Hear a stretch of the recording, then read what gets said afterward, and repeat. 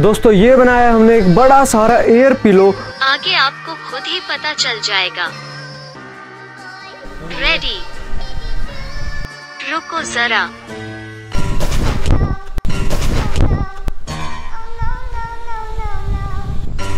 आज तो मर गए रे।